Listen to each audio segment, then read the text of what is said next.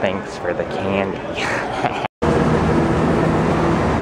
Um, we're in uh, Times Square right now. My name's Lars. I like photography.